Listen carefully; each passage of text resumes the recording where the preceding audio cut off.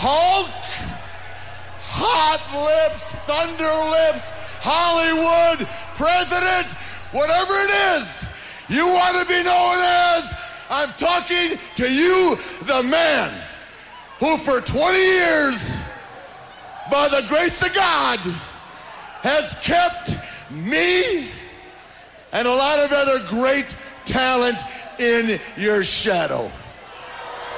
Hogan, Hogan, make no mistake. When I was in Garden City, Kansas, wrestling Rufus Jones for an hour, you were in Madison Square Garden for all the money. I know it. The world knows it. The difference is I was the world champion and you were a man on fourth before intermission beating the crowd to get a cold beer, pal. I was putting in time. I was with Race Briscoe, Funk, Kiniski, Sting, Luger. I was with the boys that had to walk the real aisle. You, my friend, were carrying Dolly Parton to the Oscars. God bless you. You were making movies with Stallone. You became a bigger than life commodity. And for that, I give you your due. As for being a wrestler, you can't now and never could carry my jockstrap, pal.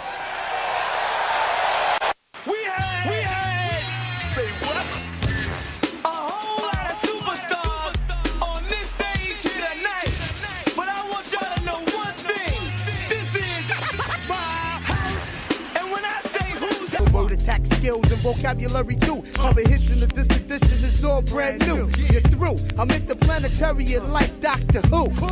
So who? Fuck your beef, no relief. I step on stage, girls scream like I'm Keith. Everybody, we are back at it. Ring Time Pro Wrestling. Just when you thought you might not get a show, Keith and Keisha show up to save the day. Keisha, say what's up to everybody. To everybody that really thought that we were gone for the week, trust and believe that is not the case, and we would not disappoint y'all, especially with the week that we had this week. It ain't even happening. So, hello everybody, and welcome to the show because I love you, and so the Keith does too. I'm telling you, it's just like that. Make no mistake, we are due a week off, but uh, this could be the one.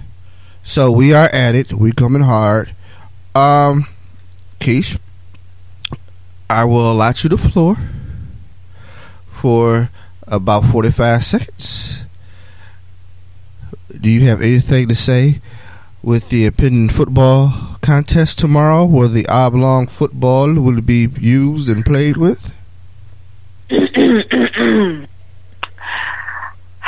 course, I had to clear my throat on this one. Um, I just want to say that I have spent this entire season not really too much out and about talking all the mess that I normally do during football season because anybody that knows me knows like my Facebook, Twitter, and everything else is usually Falcons down.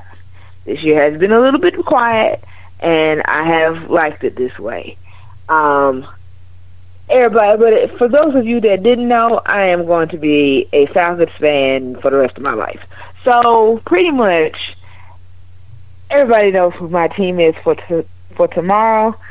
Um, 305, please be watching because I'm. I just want to let y'all know that we're going to the Super Bowl. Like I'm just. That's my prediction. Now, of course, there's always a possibility that it might not happen, but I just don't see it that way. So, I definitely just want everyone to know Atlanta's my pick. Now, if you wasn't sure, you're sure now. Now, if you needed clarification, I just gave it to you. So please believe that I will be wearing red and black tomorrow, and that I will be cheering my Falcons on every single second of this game. I'm not missing nothing. I'm telling you, I'm not missing anything.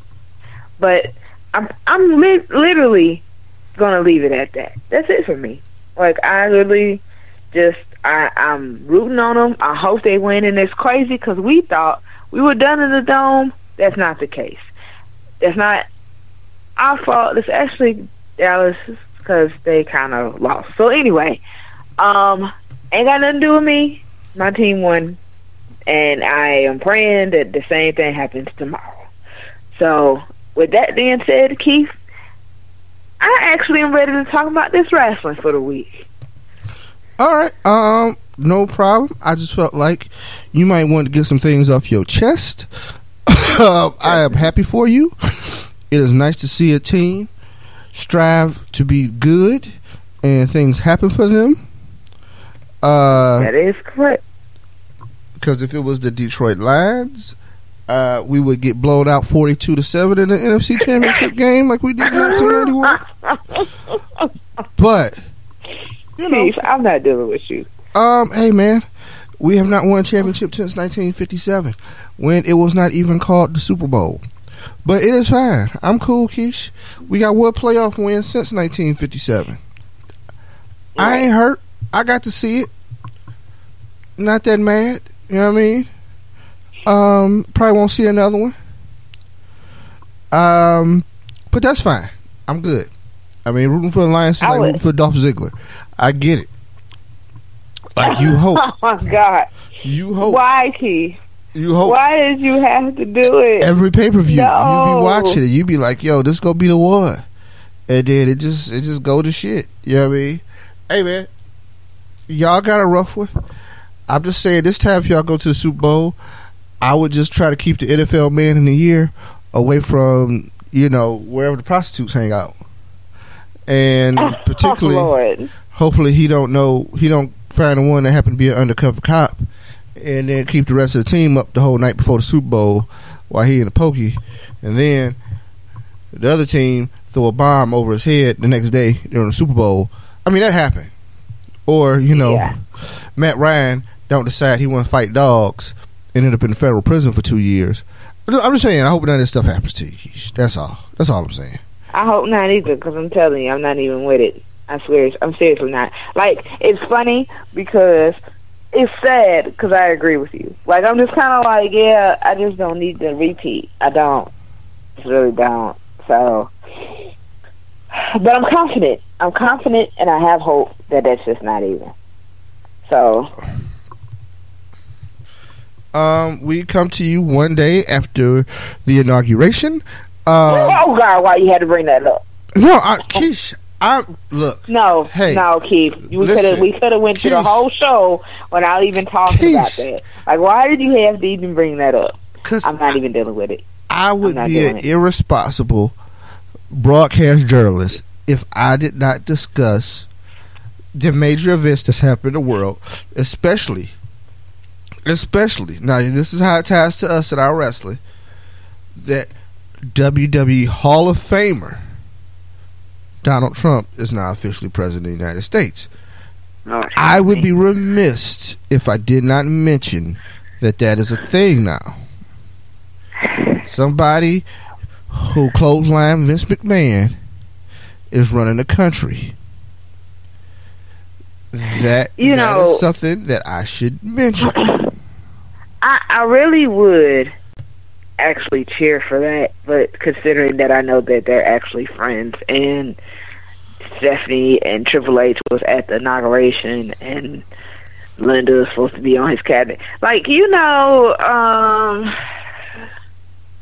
whatever. Um well, Keith, you got a job to do, so, you know, you gotta do what you gotta do. I'm not even finna Hey man, look, Nope. I'm not I'm I, I'm, I'm not celebrating. I'm not picking no sides. Um,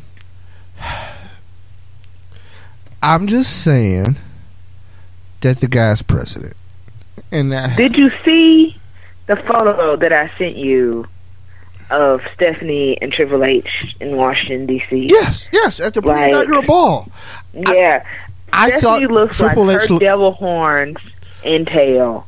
I thought Triple H looked very handsome. out. Yeah, I Stephanie looked like her devil horns and tail was just been a show. all the way. Like This she was just in a party. I sure did. I went there. I don't Mrs. care. McMahon, Like, I would just like you to know, Mrs. McMahon Helmsley, I would like you to know that the views of Keisha Holt are the sole views of Keisha Holt and do not represent the entire Ring Time podcast.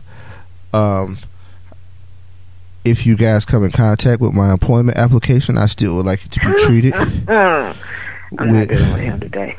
the same respect and you know joy. hmm Yeah. I, I, hey, I could have an opinion. I'm just saying. yeah, yeah, yeah. I I'm just can. saying I sure can. hmm you can have an Yeah, opinion, but but Nope. um, that's why some of us have to work that same shitty job we work.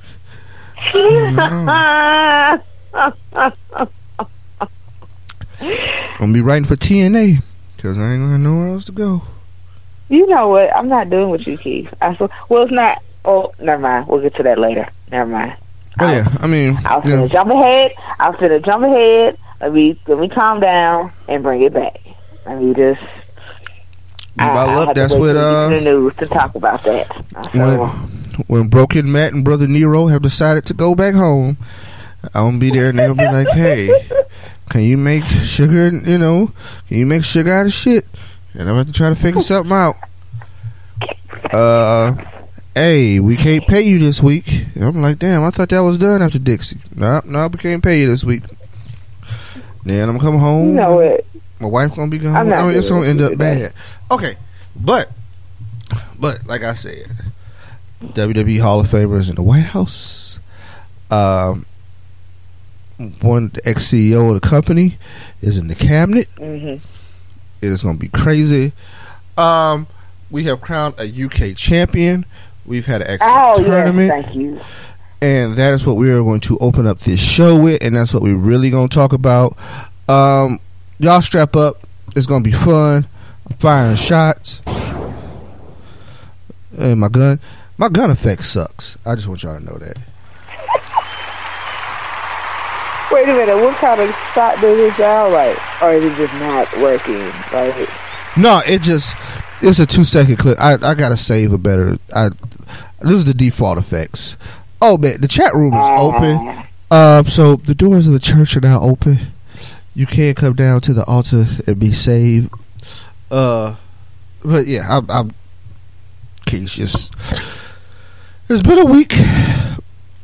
Um, I apologize for audio issues we had last week. I was a bad engineer. I did not notice there was a third thing open. And it, not too much technical jargon, but sorry. Anyway, uh, also to Q100. I hope y'all pull this audio this week. If y'all pull, a, you know, y'all can listen to some audio for that evening disc jockey job that I applied for. Um, yeah, th- things are going down. Keisha. Um, so yeah, UK champion, right? Also, right. I'd be remiss, Keish, if I didn't mention we got a WWE Hall of Famer coming. My man came home, and it is none other than Kurt Angle. Kurt Yeah. Angle. I, Keish, I'm just saying, proud. Dude, do you not understand that when I found out the news that he was going to be in the Hall of Fame, I stopped everything for 15 minutes to find that article, post it, share it, share it with you, make sure that you saw it, and like literally, like just cheer about it for about another like five minutes. Like Yeah, um, I am way. I, I don't even call it too excited. Like I'm just thoroughly ecstatic about this entire situation. I'm gonna say he's the most deserving WWE Hall of Famer like the last three to five years. Um, I'm gonna say that this guy is one of my favorites of all time. I am going to say go to ringtimeprowrestling.com. There is an article posted today uh, talking about Kurt Angle coming home back to the WWE family. Um, understand, Kurt in 2016 was inducted in the International Sports Hall of Fame, which is a shoot Right. legit Hall of Fame, and he does more than deserve it. Most decorated r- amateur wrestler probably ever, right? Uh, well, not ever. Right. I mean, Cael Sanderson's probably most decorated ever, but Kurt Angle, uh, three-time All-American in college, national runner-up, two-time national champion at Clarion University. Do you know what Clarion University is? Because I didn't until I started hearing about Kurt Angle. Um, he's like he. There's not a powerhouse. Like he didn't wrestle at Penn State. He didn't wrestle at Michigan. He didn't wrestle at Ohio State, Iowa, Iowa State, Nebraska. You know what I mean? None of the ones that's in the top ten every year that you watch on the nationals. And for y'all who keep up with college wrestling, um, no man. Kurt came out of Clarion University when when all when everything you could win. 1995 uh, world champion freestyle, and then he took it over in 1996 to the Olympics here in Atlanta, Georgia, and he won the gold medal with a broken freaking neck. Um, his coach Dave Right. Schultz uh, was killed earlier that year. Um, Oh, Jesus. if you want, to, if you want to know about Dave, it was a very interesting story. Um, and I mean, I'm very familiar with all this because anybody who knows me knows I'm an amateur wrestling nerd. Um, I have a pretty good, decent amateur wrestling background myself, if I may say so. Not to pat myself Yes. on the back, but you know, the trophies and medals out here. Keisha can attest to it. Your boy I had sure some can. skills back in the day, but I've seen him wrestle. neither here nor there. I'm just saying. Your boy has skills. It. I, I just want to get that out there and make sure that that's known. Um, but yeah. So yeah, I, I very much, and I mean at that time, that was at the peak of my amateur wrestling career. So I was always into what was going on. Dave Schultz is one of the greats of all time. Um, he was killed by DuPont. I forget what DuPont's first name was. Like like the DuPont that's on the side of the trucks, DuPont. Um they were at there's there's some wonderful documentaries. There's a thirty for thirty uh, about it. There's a movie called Fox Hills Catcher and it goes all into it. But yeah, uh, Dave was murdered unfortunately uh, by DuPont because DuPont went nuts. Um, but you can get the real gist of the story if you go to Netflix, man, they got the they have the movie, then they got like a documentary, and then they got the thirty for thirty. So all of that is there. So check Right. that out. Uh, but yeah, man, Kurt was an incredible, incredible performer. Um, he had a chance of being an ECW, but he didn't go. Uh, WWE offered him a contract in '96, like right after the Olympics, but he didn't take it. Uh, he went and visited ECW. Paul brought him up, and he was from Pennsylvania, so of course he check out the local promotion. And that night they did some big crucifixion kind of thing And Wait. ruined it all. and ruined it all. Like it was just totally like they went for some big and, and Kurt's a religious guy, and he was like, "Nah, hell no, nope." He told Right. Paul, "Look, man, you bet not have nothing about me being here. I will sue your ass. Like I did not sign up for this. Exactly. Like I mean, that was a, was it was like, a very big deal. I don't want. He straight said, "I don't want no part of this." Period. The end. Like, don't even think about it. Don't even. I wasn't here. You didn't see me. I didn't participate. This is over with. Like, nah, I'm done. And Right. not back to this bitch Yeah. ever. Very decorated amateur star. like that was it. Now, I will. I can contend this. Kurt Angle had the greatest rookie year ever in the history of professional wrestling. Um, and I mean that seriously. Not like first year ever. Because there's people who came to WWF and had a hell of a first year, right? A AJ Styles had a great first year. Um, Kevin Owens had a great first year, but it was his WWF rookie year, but it wasn't like he was a rookie, right? Kurt Angle had never been a pro wrestler before. Period. Uh, went to training and was up in a few months, and then bam, he was rocking and rolling. Ninety nine, he hits the scene. A defeated streak, which gets broken by Taz. Um, but let me give you a rundown his his first year. He wins the European and Intercontinental titles, which he holds both at at the same time.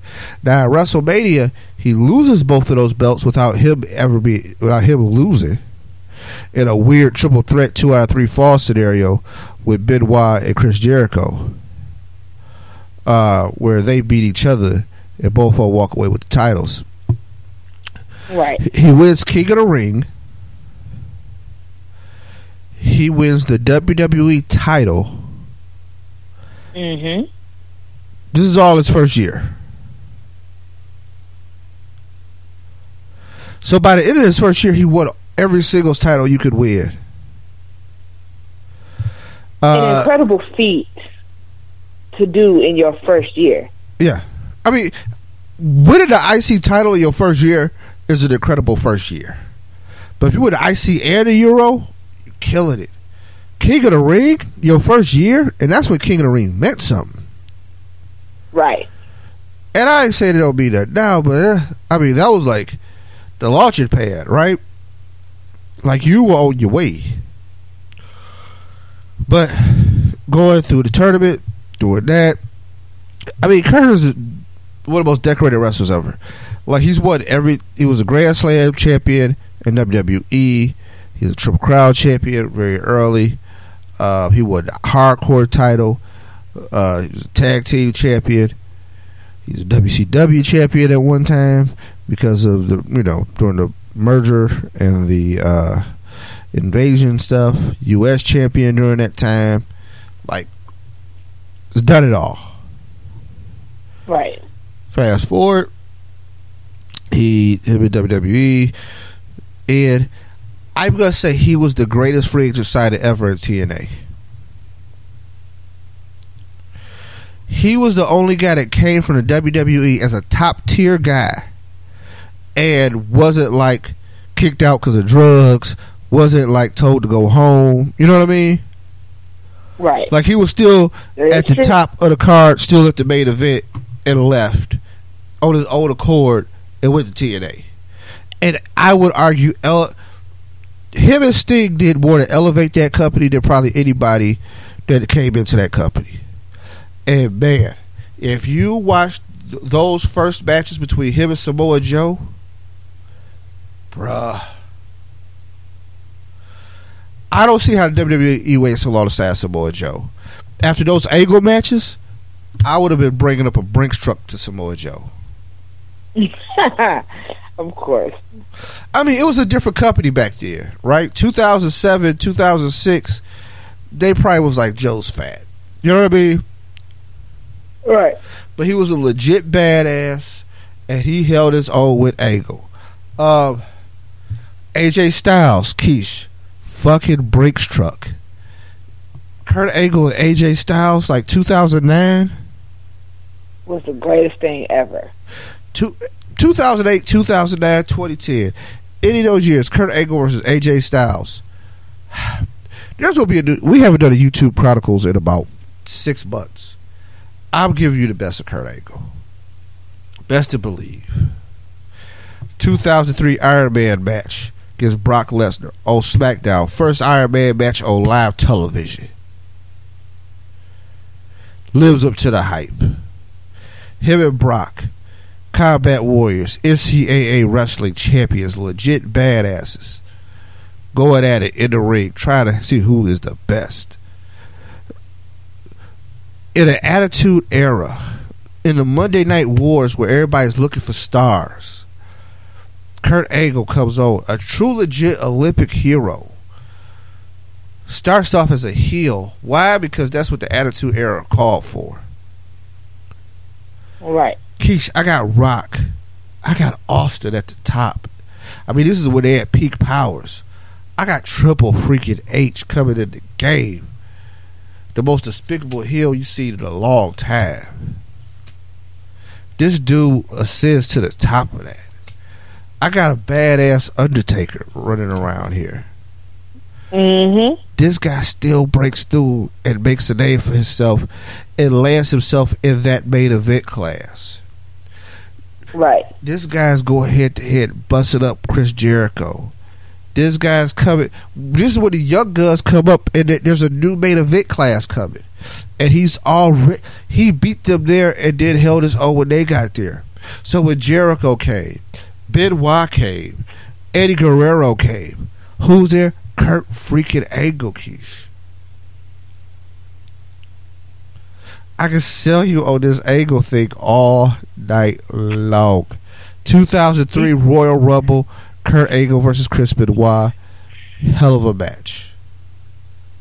One of the best I've ever seen. I mean, one of the best I've ever seen. Period. So, I mean, just understand what we're talking about here. This guy's one of the greatest ever. Like I said, one of the most deserving. So, finally got to see him home. Uh, hopefully, he can work with American Alpha because that's what we've been talking about for like eight months.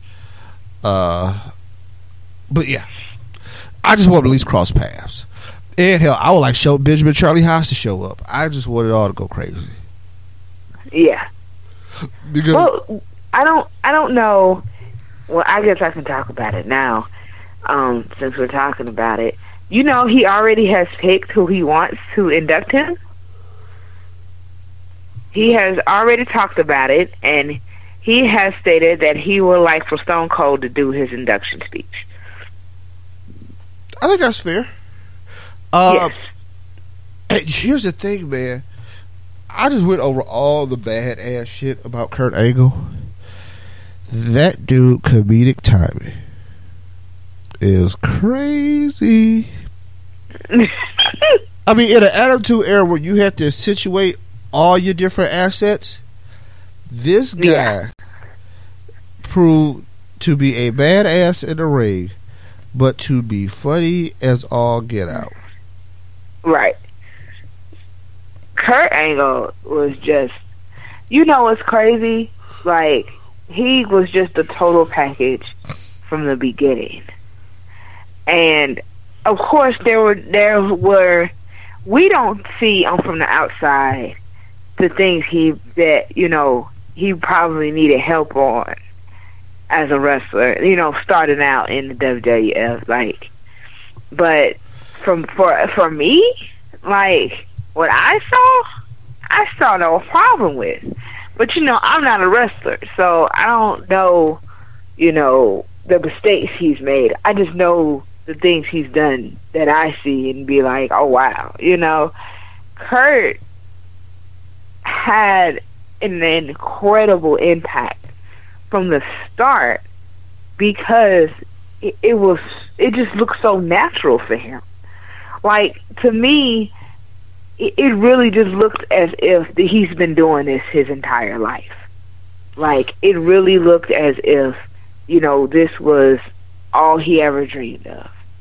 You know what I'm saying? Like it looked as if this was like the things that he it was it just looked as if there wasn't anything for him to consider from the time he really knew like what he wanted in life. Like this just it just looked like every part of everything looked as if it was well it was well within his grasp to do this. Period.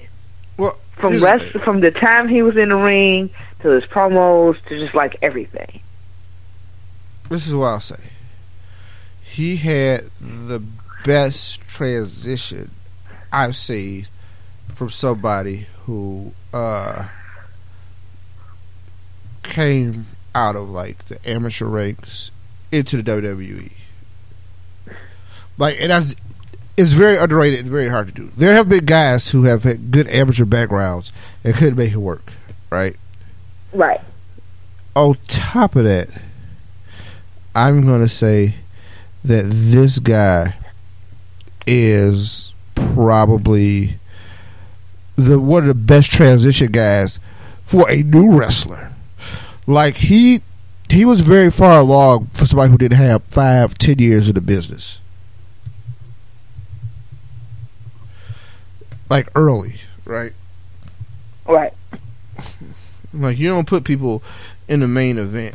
I mean, he was in the main event with guys that had ten years in or better. which is true. It's damn and true. it was oh, it was scary, Key. you stupid. but it was scary. It, it wasn't really scary. It was just fascinating. Like that's the best word I can use for it. It was severely fascinating how fast, you know, his his career progressed in the year in the first year of it in in this business. Like it was just. I didn't even it didn't even hit me that this was his first year Right. until like he literally like cut promos and named off all of his own accomplishments in that first year and it was like damn this was only in a year like i if you really weren't watching until after the fact right. like you would have thought that this all happened in a span of like at least five. Wow, he did this and he did that and he did all of that and man, this must have took him like three, four, five years to do. No, it didn't. Like, like I, I really wish. I don't even wish I could sit here and say that it did. Like I, I just know like, it just didn't. It didn't. And there hasn't been. It hasn't been. I don't even know if there has been anybody that could say has done the same since him. Like I really can't think of anyone. I know there's some that have won like their first like WWE title, you know, within their first year or somewhere close to it, but like to have gained all the accomplishments that he's had, no. Like it, it just it didn't happen. no, No, no, it didn't. And I think I, I'm I'm I love Kurt Angle. I just want to put that out there. I love Kurt Angle. I always have, even when he was a heel, and you pretty much should have hated him. I loved him. So this is exciting as hell for me. Like he's one of my favorite wrestlers. Period. Like I I can't even exaggerate that if I wanted to. so I might Well- even watch the Hall of Fame this year just to see him get inducted. Like like, like, yeah. like I'm just Well, you should always watch the Hall of Fame. Well, uh, I, I do. I try. I honestly can say I try. I try, but the only thing that gets me is um my attention span is geared to be short at times. So sometimes I even fall asleep like during. I mean, it's a long just- show. Beauty of WWE Yeah. Network is that you can pull that stuff up later on because it's a long show, especially watching it live. I watched it.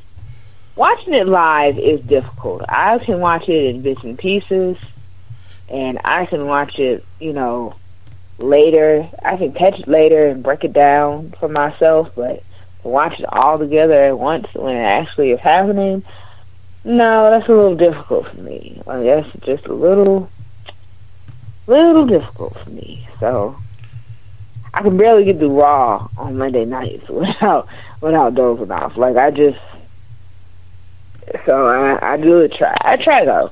I'm not gonna sit here and say, "Oh, I just kind of skip that," and it just doesn't happen. I try. right. I definitely try. So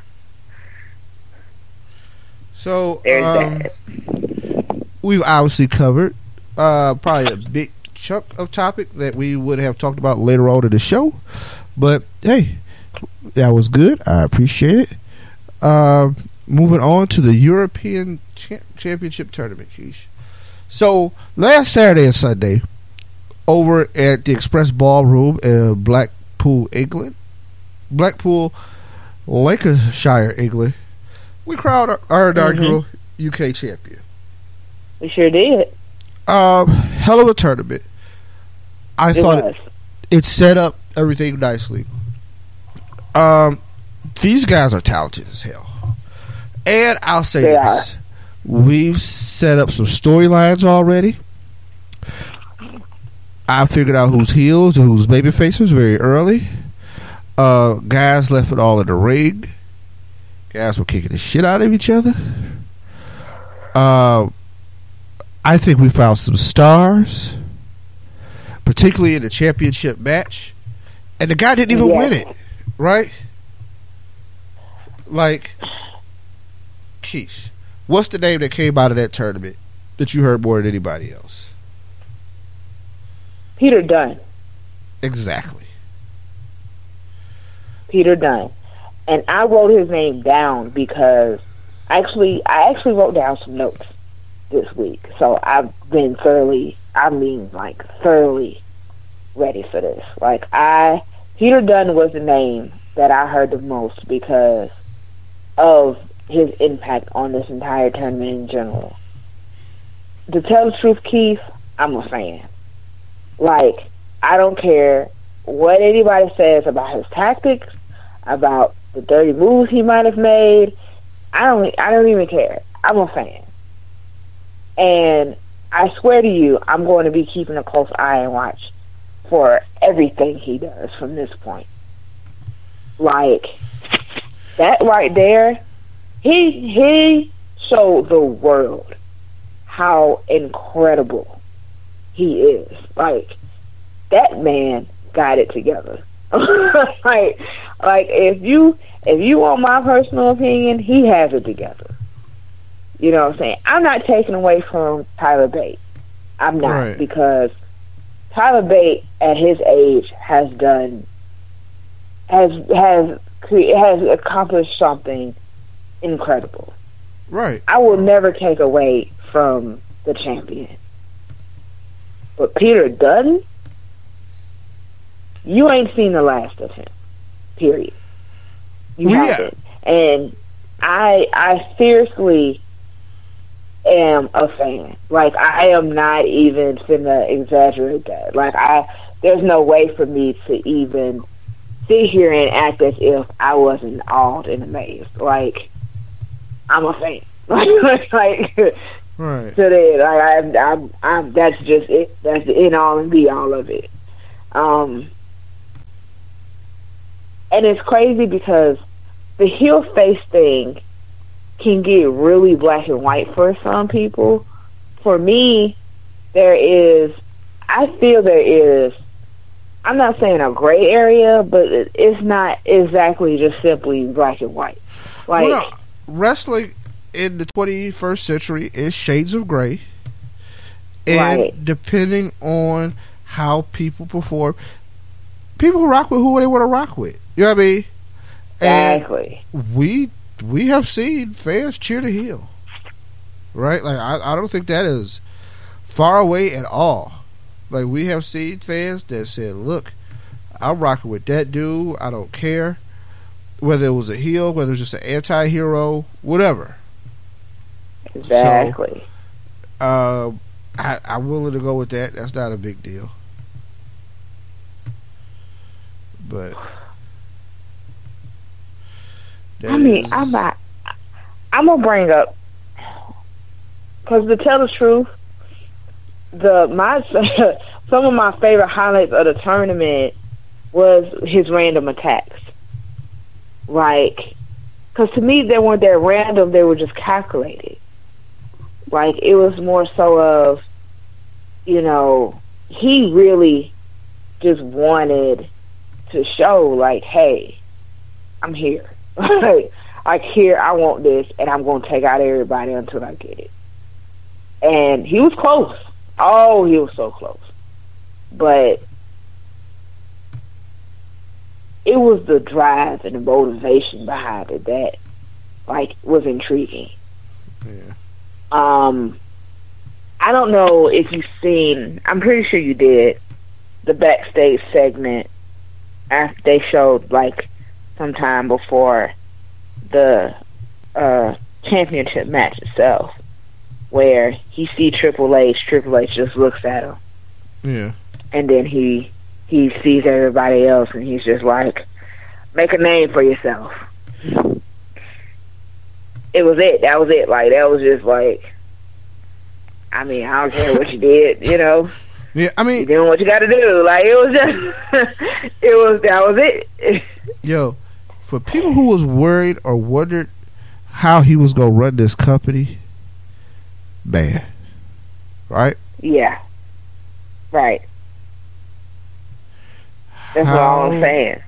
Was he gonna run this company? Cause this dude has got some stuff cracking. Right. I appreciate everything he has done. Like I said, they've created some stars. Um, what do you think of Jordan Devlin, aka Baby Finn? Um, I thought he was. I thought he was good. I just didn't really feed into him that much. Um, I'm not saying I wasn't interested. It was just kind of like I feel like there's something missing there with him. Um, it's funny how you try not to be like a person, but then you show like you're a little bit more than like them than you really thought you were. Um, the fact that he was so in his whole demeanor said Finn Balor, but it was like, but it wasn't. You know, of course, it wasn't Finn. So we really didn't expect that out of him, but we knew that's where the influence came from, and it just, I just really wasn't into him as much. Um, it wasn't even because of that. It was more just because of him. I think that I, I personally thought his personality was a little dry. Like I was just kind of like, nah. Right. You know, I'm not saying that I'm. I don't think he's. I think he wrestles just fine. I think his wrestling is actually pretty okay. But Right. yeah, I just wasn't really. I wasn't really feeling him that much. Uh, the crowd wasn't either. The crowd was just like, boo. I'm like, oh, wow. I know who the heel is. this. Shit. I tell you right now, that crowd, boy, that crowd was brutal. Like, UK crowds are awesome, right? Like they always have been. Like I don't, I don't understand why was brutal. why Impact didn't run their company over there for a while. Because I was like, yeah, they don't get no reaction in the U.S. I would just keep going over there. But Right. Yeah, that that crowd really stuck it, and I thought they were they were as much of a star of the show as anybody on the first day and second day. Like they pretty much they got you where you needed to be because these guys weren't new to them, right? Right. So I thought that they really worked and showed, you know, who was who and what was what, and they got you through the matches. Um, I like Wolfgang. Uh, he was, you know, he gave him some size. uh, I can't wait to see some of these guys on 205 Live. I can't wait to see some of these guys on NXT. I can't wait to see some of these guys Right. on, on Raw and SmackDown. I mean, I just want to. Who was the guy? What's the name of the guy that came out and was twisting his mustache? Uh, I don't. I don't. I forgot his name, but I I like him. Like I do. I think he's awesome, but I just can't remember his name. Like, oh, I swear, I, I kept forgetting his name even when I was watching the wrestle. Like, but I was like, man, he got something here. Yeah, I'm trying to figure out if it's going through. like when he came out during his entrance, he twisted his beard with both his hands. Like I mean, his mustache with both his hands, because he had this really long mustache, and he'll twist it. You know, when he came out, and then when he got in the ring, he twisted again. And you know, he had everybody twisting these like imaginary mustaches. like I thought it was because I thought it was an interesting way to get the crowd like over with you right. and but he was also good. Like he was also a good wrestler. So it was just it was really interesting seeing him. You know, oh, I can't. I just can't remember Yeah. his name, and I, I hate it. pulled up, um, and I just need to go. You know what? I'll go to the WWE page. I can tell you in a minute, Keith, because not all the n- names hit me. Right. And it happens. Like, uh, the, the the one thing about this tournament was I knew I wasn't going to remember everybody's name, um, but except for the ones that like ridiculously stood out. But of course, um, that's what happens with tournaments because I was like that with the cruiserweight tournament. So when they had the cruiserweight classic, it was the same exact thing. Um, I I just I knew like I I didn't you know it's funny because I wasn't expecting him to like win it all. I just thought he was awesome to watch, Right. and I know that we're gonna be seeing him again soon. Like he, he'll he'll definitely be on. He'll definitely have a contract, you know, uh, and we'll definitely be seeing him again soon. But he was pretty awesome too. So Yeah, but you know, here I'm I'm I'm gonna get you. I'm gonna get you right. Uh, no, I have to do is Saxon Huxley, is it? Nope. Uh, it's Wolfgang, of course. Uh, not Joseph Connor. Like I'm going through it, I'm, I'm scrolling through like all the beards. well, he had a mustache. He had a really long mustache. Yeah, Where is Trent Seven. No, that's him? It Yeah, might not it? be, but I think that's him. That's him. It's Trent Seven. Okay.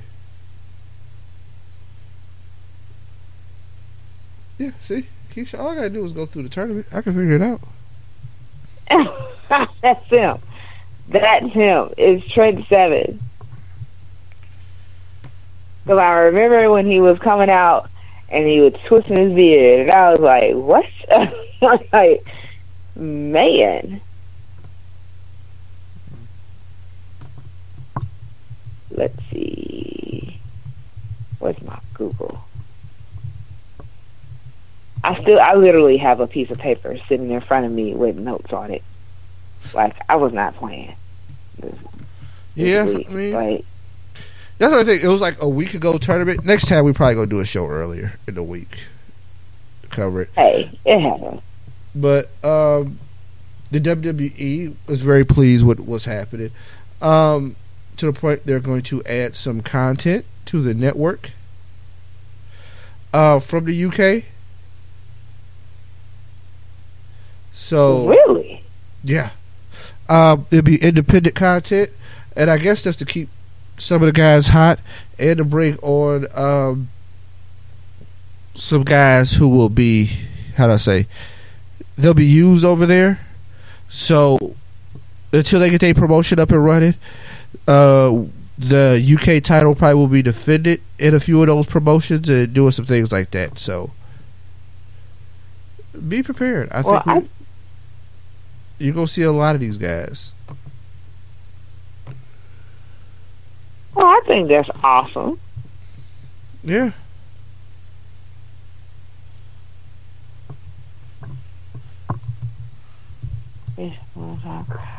Well, so Tyler Um, Bate is the new uh, United Kingdom champion, correct. and yay for that! Yeah. I'm excited about that. I can't lie. But Honestly, I would throw him in a rumble. I, he'd have a rumble spot messing with me. is he really only 19? Like, man, he's young. Yeah, man. Look, this is one thing I, I was discussing at, at work. Do you look at the background for these guys from the UK? Like, there cannot be no child labor laws or no rules about wrestling with these dudes.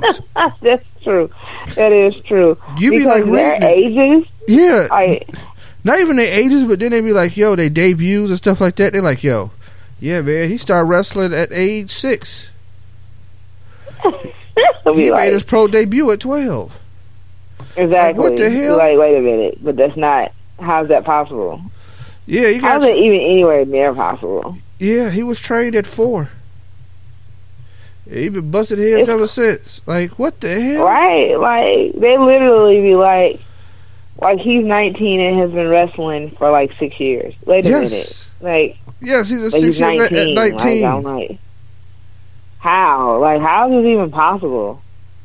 I'm like, wait a minute, but he's allowed to wrestle at that age? Like, he was entirely too young. I feel like he, he wasn't even, he's not, like, Tyler Bate is not even old enough to buy a drink here.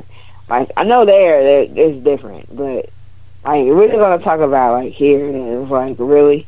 So it's just kind of like, are you serious? Because in my mind, of course, I live in the United States where drinking age is 21. Like, it's like, okay, so are you serious? Like, oh, well, you know, he's been wrestling for like five years. Like, wait, but he's 19. Like, how is that even possible?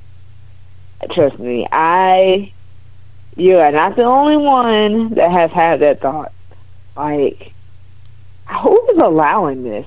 Who's signing off on these waivers that says, "Hey, my child can train to wrestle"? Like, I refuse to let anyone I know train to wrestle at like six. Like, it's just not gonna happen. Like, no, I think they need to wait a few years. Like, I don't know. We're just not doing this. We're really not. It's it's crazy, but it's hilarious to see. I must say. Man, oh, I just realized it's been like three years. Um, but yeah. So, I know this is really random, and I'm just gonna put it out there. Okay. Um, W the the WE.com site has every has pictures of quote unquote every number one entrant, and that has every every superstar that's ever drew the number one entrant in the Royal Rumble. Right. Here's the thing. We both know Keith, and I'm pretty sure you know this. Um, every number one entrant is not in this list. So they they definitely have skipped some years. Uh, Well, they have to skip some because of some issues, and Yeah. um, some stuff they just don't like people anymore. right. So that's the thing. I mean, I knew that would be the case, of course, for various reasons. So I wasn't expecting every number one entry out here, which is funny because they have a picture of Chris, of uh, CM Punk up here. I, I'm actually kind of shocked by that, but Well, they don't. you know, They don't have. I don't know if any pending litigation is still out there, and um, that dude might be coming back home eventually. Cause yeah, I think I. You know what? I I can honestly say I wouldn't even be surprised if that happened. Yeah, I mean, cause think about it. You saw how that last fight went, right? Right. Yeah. I, I I don't know if UFC's inclined for him to have another one, and I don't know if he's that inclined to have another one. I don't think he is. Like personally, I think that he's like, yeah, I'm done with this. So there, that might be the truth. He might be the next one coming home. You know, who knows? I mean, But I know that right now, like things are looking like a slim to nothing chance that he's gonna fight again. So Yeah, here's the thing. He's made a lot of money, and I don't know if he really wants to come back. But you know, hey, right, exactly. So it is what it is. But um, one thing we haven't talked about yet is Raw. So- yeah. Um, this is what I think we're gonna do. Forty something minutes in, we're gonna hit our break, which is something we normally don't do. Just, but we're gonna hit our break. Mhm, mhm, We're mhm. gonna we're gonna do the raw, and then we'll be back. So we'll catch you on the other side. We sure will.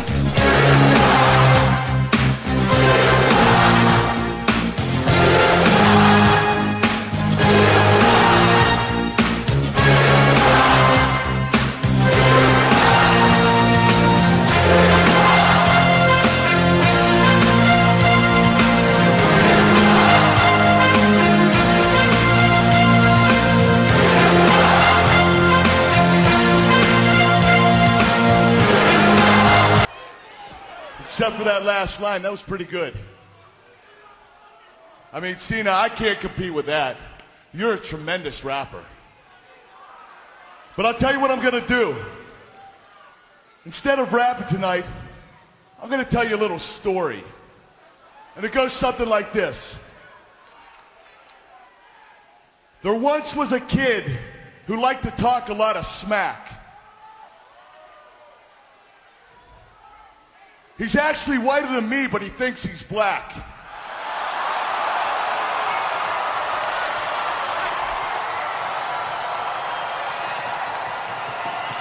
And the kid thinks that he's the king of talking trash. Until one day he bumped heads with the king of kicking ass.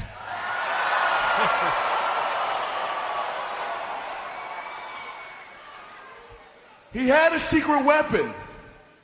He liked to use a steel chain. I'll shove it straight up your ass if you try to use it again.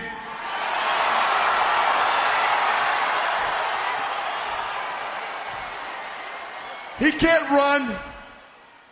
He can't hide. It doesn't even matter if he's rapping.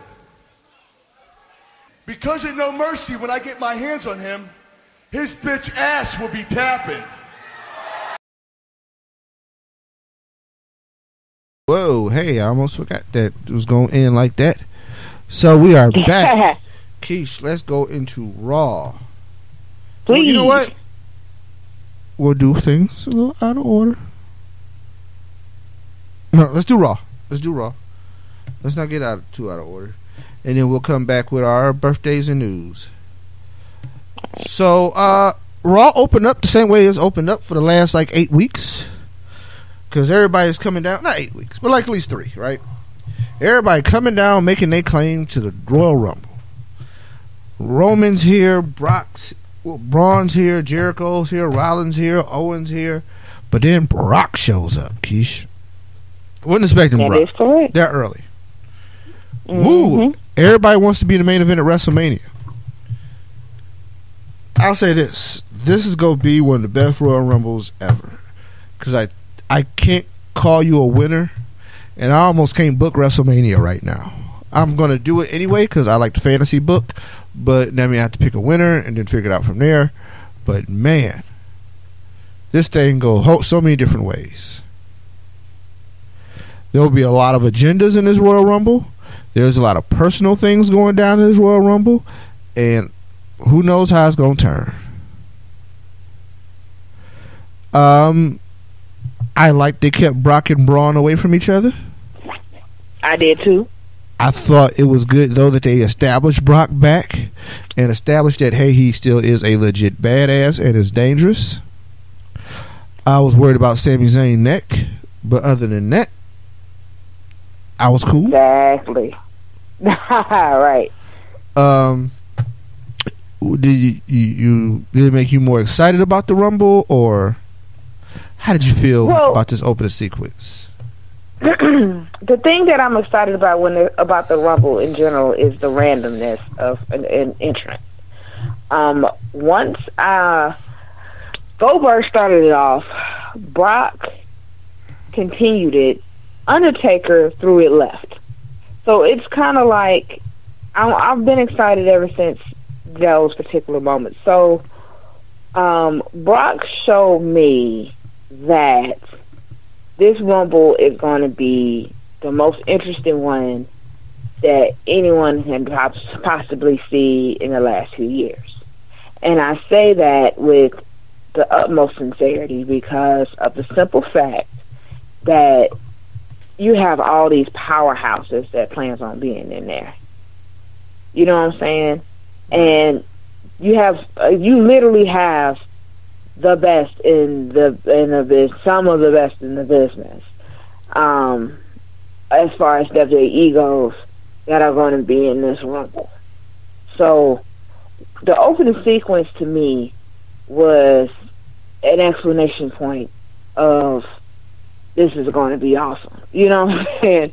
Like, personally, for me, Brock doing what he does best was one thing, but like I know that the guys that he just came out and like totally dismantled Right. uh, will be eventually end up working together because, of course, the I know at a, depending on what number he draws, the first thing that's going to happen as soon as he hits that ring, they're going to try and get him right back out of it. So I'm just excited to see the Rumble in general, just because of all the names, the extra names that's that's being thrown into this match this year. Like I, I had I, and it's funny. I was just talking to a, a coworker about this today, and I told him, and I tell you, and I tell everybody else that don't really know is that, um, I'm not too enthused by the whole Lesnar Goldberg thing. Um, I know it works for uh, a lot of people. I'm not really a fan of it, so uh, it to me is has no impact on how I feel about this Rumble or the uh, or in general. But the opening sequence does show a great deal of strength for one of the best competitors that's going to be in this match in particular. So I'm definitely here for all of it. You know the funny thing It is, It is what it is. I'm not hundred percent sure this thing is going to end with Lesnar Goldberg three. Right.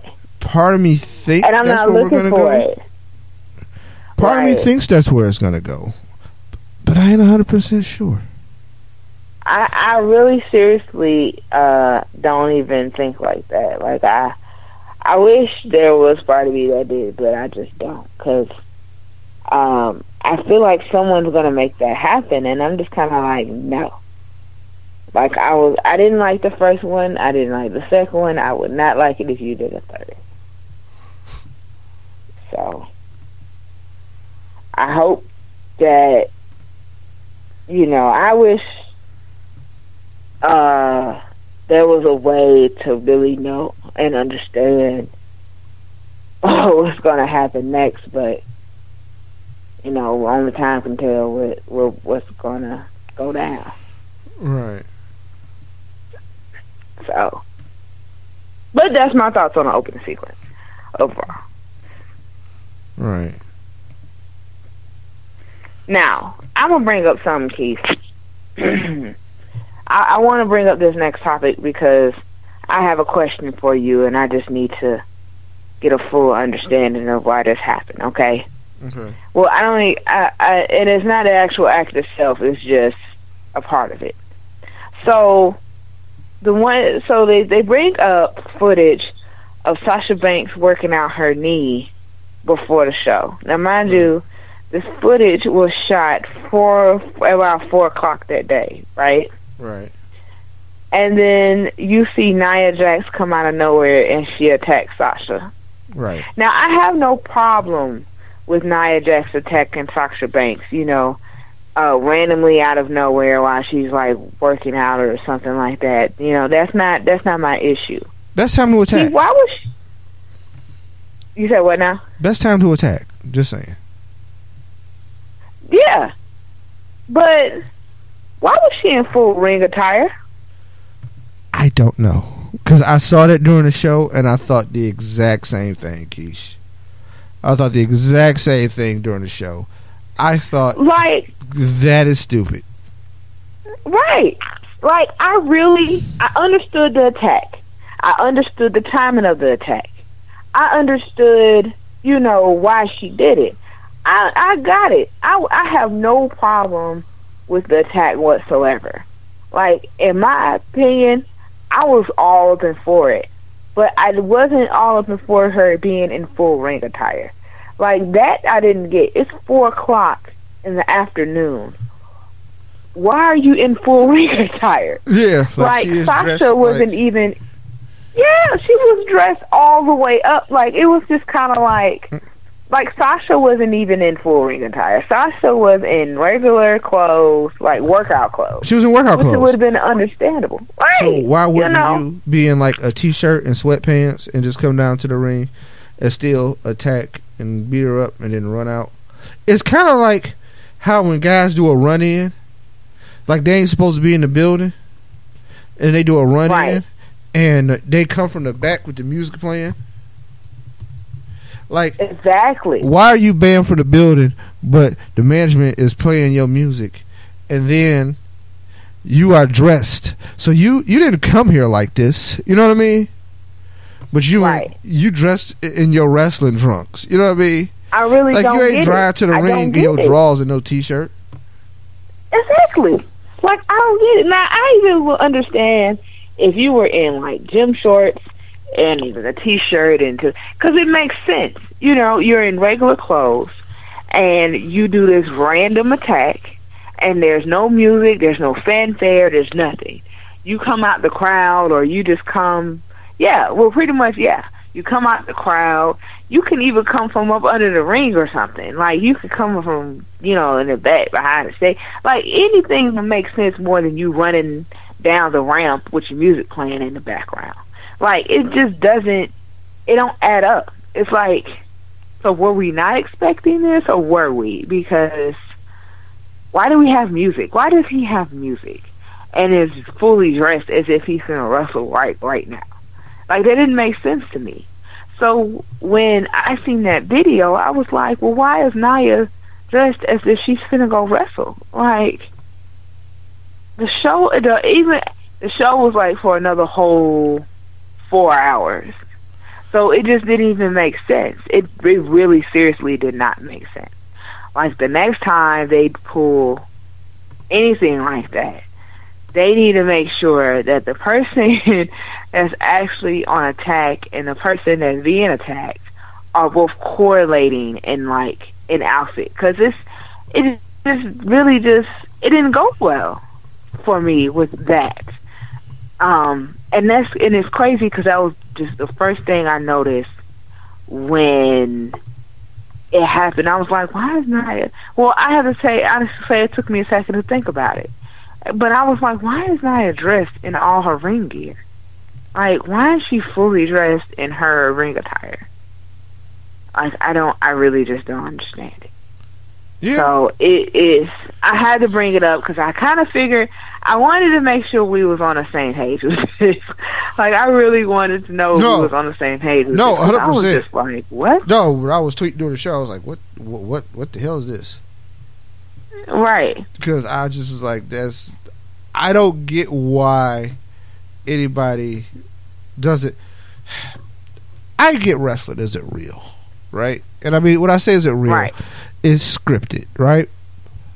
Right. But y'all gotta act like it. Like y'all don't have to.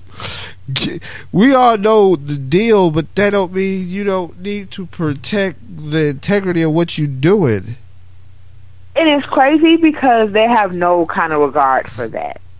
Like, um, I've been watching things on the network, and it's crazy because it helps me give me a perspective of how they treat the business now. And that right there was a perfect example of what goes wrong when you don't think something through. No one thought out this attack completely through. Because if you did, then you wouldn't have had Nia Jax come out in her in all her ring attire with at what was supposed to be a training session at four in the afternoon. Like it just really just didn't. It's just things like that that just doesn't make sense. So it's just kind of like you're just stuck trying to figure out what happened. Why is this happening? Who's doing it? You know that kind of thing. Um. I, I just don't know, Keith. Like, oh, I swear, I swear, like I just, I, I, I really just don't understand it.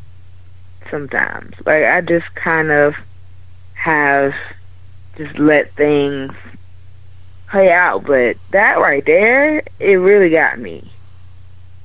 It is. It really got me, and I just couldn't what else happened? Because I just Oh, I mean, is easy. I've, I've got one thing. I got is notes. Um. yes, So I, I it- just seriously Enzo and Cass return to tag team action. Enzo apparently then is over his injury or whatever happened, and uh, they got a good win against Jinder Mahal and Rusev. So that was That's there. actually kind of awesome. Uh, Lil Davari got a win against Lince Dorado in cruiserweight action. Finally. Yeah, yeah, because he, yeah, no, no, it's, you have to be sorry. I ain't Davari. Because Shit, you I'm be sorry. I ain't Davari. Hell, yeah. getting his ass whooped. I mean, shit happens. yeah, exactly. Because every time I see him on on, every time I see him, he's losing to somebody, and it's like, all right, like why do you keep tucking his L's? Like seriously, Right. can we talk about this? Like, like, let's have a discussion. Um, why do you keep taking these L's? Like I just don't understand it. I don't get it. Like, do you need a hug? right. it makes no sense. So, mm-mm. what else happened? Like Raw was really it was Raw. we thought the club won the tag team championships, but they didn't. Um, There was some shenanigans, and Sheamus and them did a good job. Uh, so Sheamus of bro kicked the ref. The ref got up. There was another ref that came down, called the pinfall, but the other ref said, "No, man, it's the DQ. This dude kicked me in the head," and they kept the belts. Exactly. Now, Keith, there's something I wanted to ask you about too. All right. The hell is a Swiss one nine? Like, can we not do that? Like, what is? uh, it, It it, I just, I really. Six one nine done by a Swiss man. Exactly. Um. Which I guess is a Swiss one nine because he is not from San Diego, which is the six one nine area code. But uh, okay, the move is a six one nine, so I think you just have to just honor the integrity of the move. But they did not want to do such a thing because it's the Of course. WWE, which hey, at least they called out a move as opposed to saying, "Hey, it was a maneuver." Yeah. I mean, there are a lot of maneuvers. Cesaro's huge though. Like, uh, I it, it's just, it's weird seeing him do it. To tell the Yeah, truth. I, I didn't I didn't expect that at all. Did not expect. so. I don't know. Yeah, I don't, I don't know. But what what do you think is next for Gallows and Anderson? Like, Um. Oh, I mean, they're still going to continue to challenge for that ti- those titles. right? That, that that is going to be a chase. Um, and I think they can get a lot out of this chase. Um, I think this feud has teeth, and they can carry this on to WrestleMania. Like, because I, I think it's a right mix of technical and bruisers on both sides. Right. right. Cesaro being your technical, Sheamus being your bruiser, Anderson being your technical, Gallows being your bruiser. I think it works it out. Makes sense. So- Makes sense.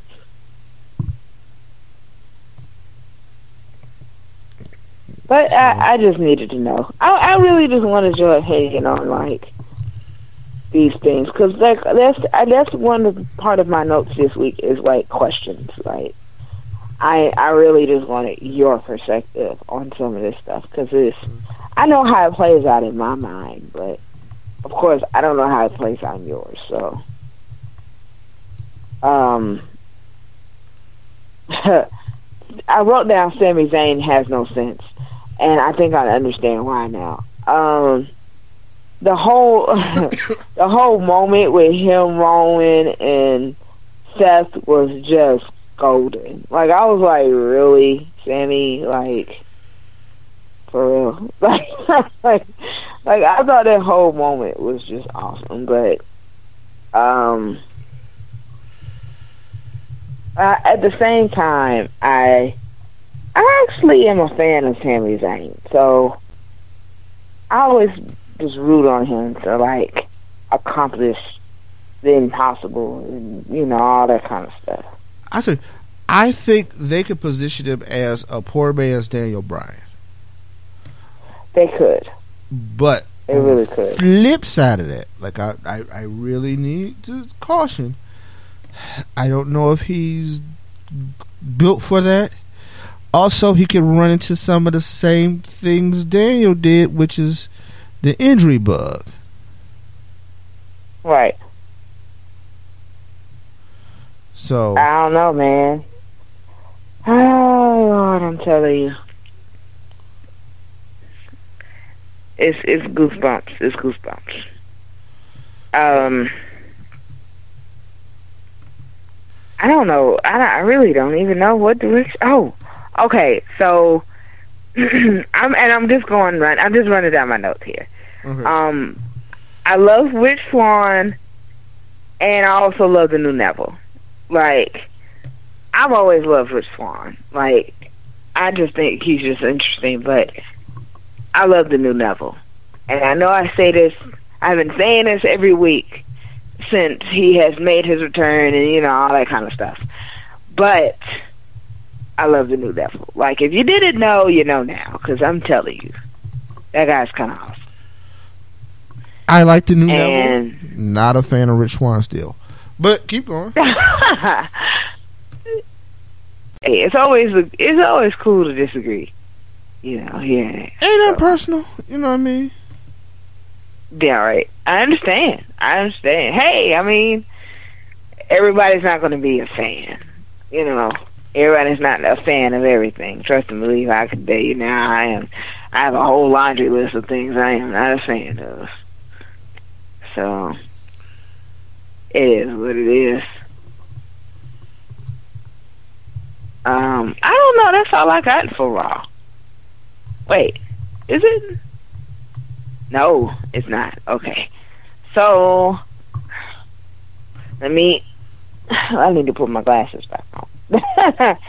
so, um, we already made that point. Oh, um, I really just want to punch Charlotte in her face. Like, uh, she really is just annoying, and it's just kind of like, okay, but I have to honestly say, like, it's not that I don't like Charlotte, because I'm not going to sit here and act as if I don't. I do, as a wrestler. Now, as far as everything else goes, it's like no, Charlotte. Like I really just want to just kind of punch you in the face. Like it's it's. I don't dis I don't have a disdain for her, but some of the things she says is just kind of like seriously. So there's that. Um, but I do I love her attitude but it's just kind of like, okay, Charlotte, like, thank you, you've made your point, go sit down. Like, like go over there in the corner and just kind of like be free. Um, Yeah. Um. One thing I like about Charlotte, she heals it up. Like she has studied her dad's tapes. Like she is Ric Flair's kid. I wait for her to tell somebody her shoes cost more than a house. All right. Exactly. So I don't know.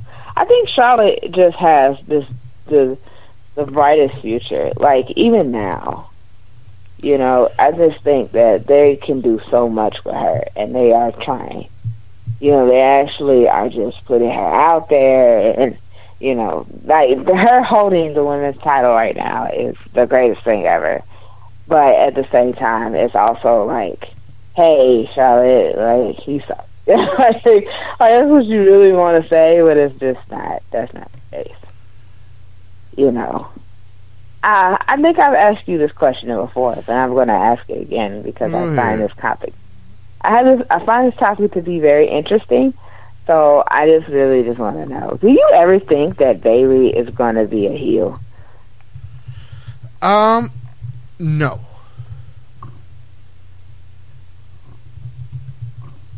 Well, Here's there you have it. I, I just think the structure of her character is very hard to do. But the WWF would do anything, right? Like I can't say for sure because they'll do anything. So it know. very possible that they um are willing to uh, make her a heel. She doesn't Yeah. seem like she fits at any point, and I mean, it seemed like her her move is to sell those T-shirts and to sell them hugs and you know what I mean. Right. But you remember Weird Emma, you know what I mean? Yes. And they were able to transition that into a heel. So I, oh. I I'm not really, but I mean they had it. It wasn't like Bayley over the top either. right. No, I, I just don't think nothing about Bayley says that like I could be a heel at any point in time. I mean, of course, I just wanted to get another opinion on this because, um, kind of said the same thing. Like I was like, it's just it's possible. I just don't think it ever happened. You know. Um. I couldn't even imagine it. Like I wish I could think about it for a second, but I can't. I can't even imagine it. So, I don't know. I guess we'll just have to see over time. Yeah, But that's all. That's all I have in the show notes, Keith. I mean, everything else we've already touched on. We kind of already done discussed. So, yeah. So we're gonna go to our next break. Then we'll be back with the news because I like the news, and uh, of course, we'll come back and do a little Raw. I mean, not Raw, but SmackDown, and you know we'll we'll, we'll let y'all go home because we are an hour and a half into this already. right. And we have not discussed SmackDown at all. No, no, we haven't. Not even a little bit. Um, So, we gotta get to that. We gotta get to it. Yeah, I was trying to look through the things and oh man. Um so we'll make it, Keith. Yeah. We'll make it. yeah, no, we'll, I know we'll, we will. we'll get it done because I mean we really don't have no choice. I just kind of forgot what I was going to do. All right, we'll be back. He'll be either the undisputed heavyweight champion of the world or the former champion of the world. The battle with Luger is just around the corner. Well, Jim Ross, I'm going to take this opportunity. Uncharacteristically, I'm going to take this opportunity to put my life and Lex Luger's life in the right perspective right now. I stand before the world, the best wrestler alive, denoted by the fact that I've got a gold belt that makes me the world's heavyweight wrestling champion, whether you like it or not. It's the bottom line.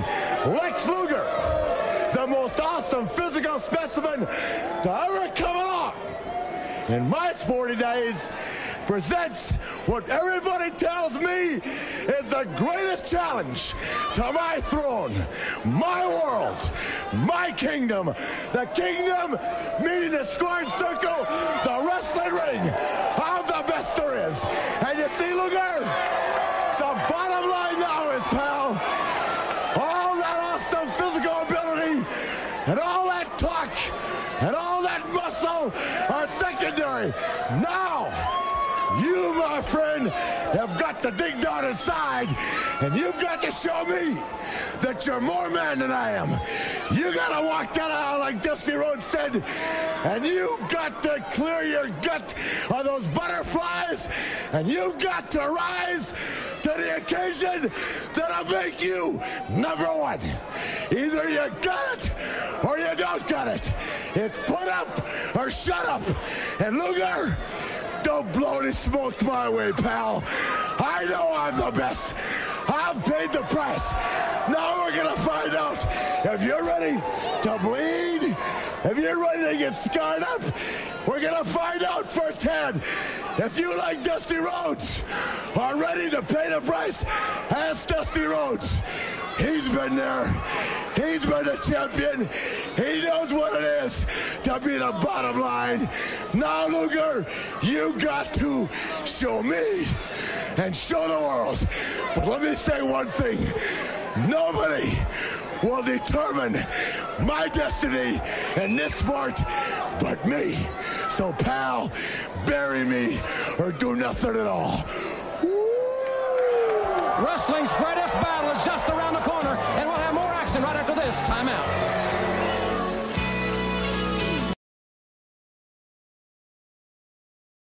All right, we are back. Wow, sometimes I forget to turn that mic back on. Um, so without further ado, y'all need some birthdays, don't y'all? Mm-hmm. I almost forgot to go to the right, right site, Keish. Well, it is. Well, we are deep into the year already. We are 22 days into the year. But just to give you a little background, uh, like three days ago, when I thought we were going to do the show, Keish, there were a lot of wrestler birthdays. If you come down from the 18th, Ted DiBiase, Dave Batista, and Karl Anderson all share birthdays on the 18th of July. I mean January. Now, if you hit the 19th, you get uh, R-Truth, Tyler Breeze, and the legendary Pat Patterson celebrating birthdays. Uh, yesterday was the 21st, uh, and which would probably, I, I guess, kind of runs into today too. Uh, Maryse celebrated her birthday. Maryse turns 33. Or actually, 37. Sorry, 34. Whew, I changed all those numbers. It's 34. I forgot it's 2017 now. So that happened. Um, today, legendary Hall of Famer, Four Horsemen, the Powder Keg, Tully Blanchard celebrates a birthday. Tully Blanchard turns 63, if my math serves me correctly. So shout out to Tully. Um, and with that, I'm going to move on to the news. Uh, we have covered that Mr. Angle is in the Hall of Fame. We have talked about the UK. Um, we had a passing this week. Uh, Superfly Jimmy Snuka passed away at the age of 73. Uh, the rest of the world is saddened by Snuka's passing. Uh, Snuka is the original high flyer. Um, he was getting on that top rope before it was cool. Um, his most famous mo- moment, of course, is '83 in the Garden against Magnificent Muraco for the Intercontinental title. A match he didn't win, but it also served a purpose, just like Peter Gunn in this uh, turn. Peter Dunne, I'm sorry, in this tournament. Hey man, the winner doesn't always isn't always the one who makes the biggest impact.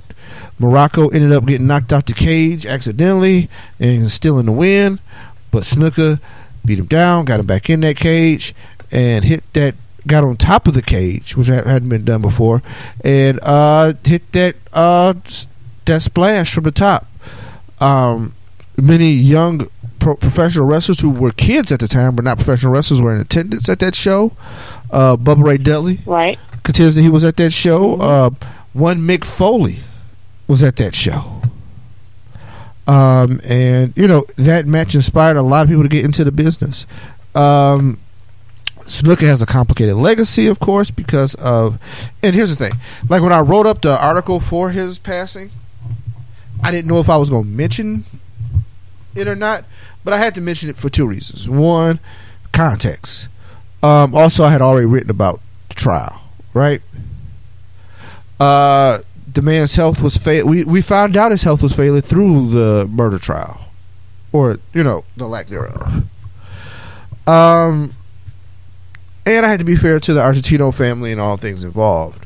Um, I'm not casting dispersions or guilt or innocence on Mr. Snuka. Uh, may he rest in peace, and may his family, um, you know, deal with the tough time of losing, you know, their loved one. But there, you know, I, I had to talk about the thing in full encapsulation, right? Like when you deal with biographies of people, sometimes just to think you have to deal with the uncomfortable parts of their life. And uh, but from a wrestler perspective, one of the greatest of all time, uh, a legend, a territory legend, wrestled all over the territories when he broke into the business. Worked for Don Owens in the Pacific Northwest. Uh, feuded with a young uh, Jesse Ventura, breaking into the business. Uh, worked in the AWA, NWA, um, ECW champion. Keish. He was an ECW champion when it first started. Uh, two-time champion when it was Eastern Championship Wrestling. Um, helped really get that promotion off the map. Um, major babyface in WWE for a lot of his career, but also worked as a heel early on.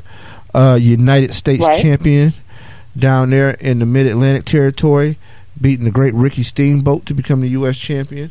Uh, tagged with Paul Orndorff to be a tag team champion down there in Mid Atlantic. I mean, the guy has a very expansive and beautiful career, and uh, yeah, we just the WWE has reached out and you know put their tribute stuff up, and it is what it is. Um, See how it goes. yeah, we talked about WWE independence in the UK. Uh, Seth Rollins would like to see Kenny Omega in the Royal Rumble.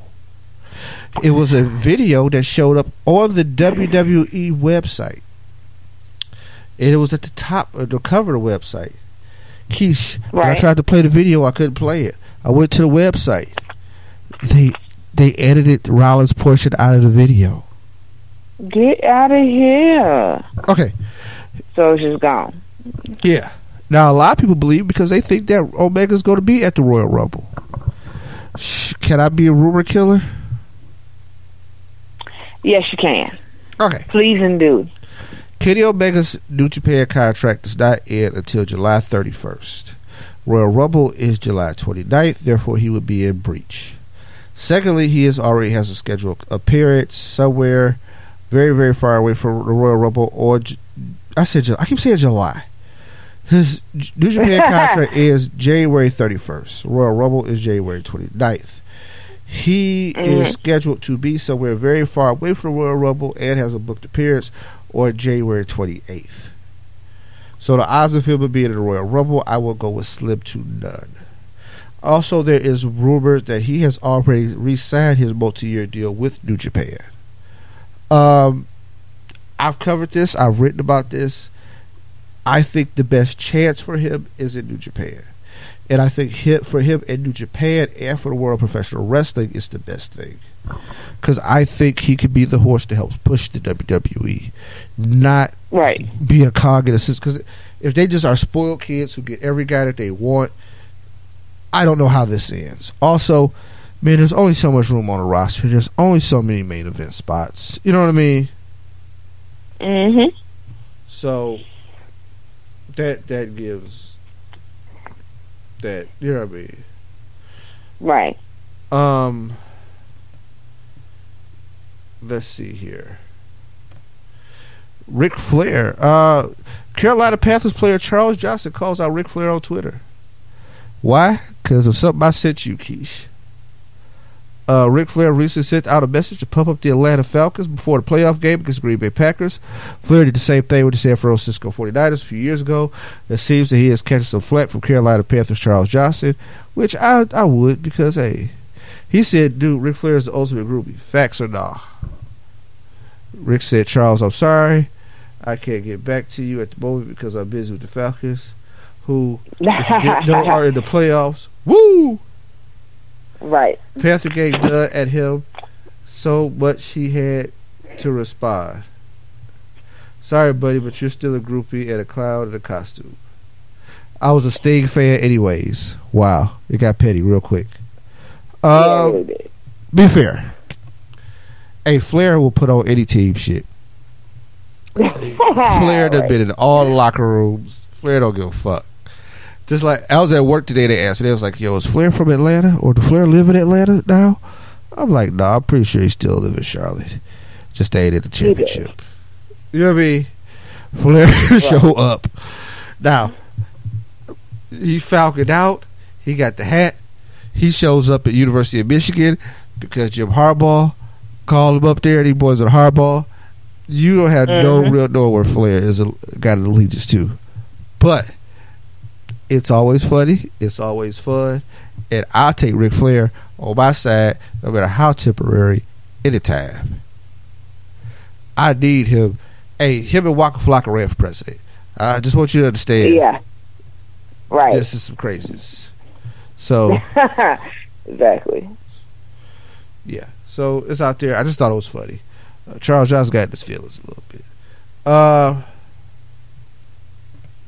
WWE's chief revenue and marketing officer reveals how much reveals how much uh, WWE content is produced annually. He, said when we took over five years. This is basically at the Consumer Electronics Show because basically uh, Michelle Wilson, she gives like the presentation about the WWE because of course she got to hawk her wares and maybe another network might come in want to pay more than that 141 million U, uh, Universal NBC is paying, which is a lot of freaking money. Uh, we look Right. Five years ago, we were putting out about 750 hours of original content every year, which is a lot. Mhm. Fast forward to today, we're putting out double that, about 1,500 hours of original content. And that's both long form for TV, but we're putting out as much content short form for YouTube and Snapchat. So basically, when they say out, that's the all their platforms. But if you think about it, they run a very very expansive YouTube page, and they did- even with the network they haven't given up the YouTube page, right? Three hours of Raw every week, two hours of SmackDown. And not one bit of give, What any of it. one hour NXT, one hour 205 live. We haven't forgotten to main event or nothing like that. Total Divas. Right. You know what I mean? Total Bellas. Uh, Camp WWE. Uh, all the network shows now they got swerved. Uh, the Renee Young series, the Corey Graves series, where he sits down to go to the tattoos. Um, JBL's uh, sit down chats. They're beyond the ring uh, bi- bio videos Right. that they produce hours of. Movies every year. Um, so you know you got a couple of movies that's coming out every year. Yeah, they do a lot of freaking content, Keish. It is crazy. I mean, think about it. We produce, I mean, about hundred hours of content of Ring Time Pro Wrestling every year, at least, just covering this stuff. So, I mean, just to give you a you know a snapshot, and that's just Right. talking. That has nothing to do with the articles that are written and whatever, whatever. Of course not.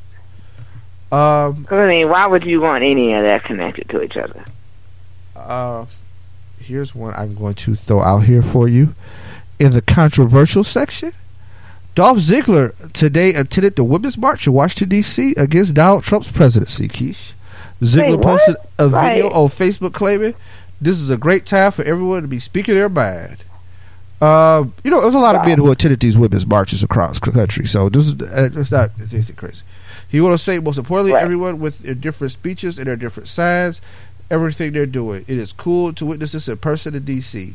I'm assuming a lot of people from the WWF might be in DC, but one thing I will say is, whoa, hell of a statement, because your company is definitely pro Trump.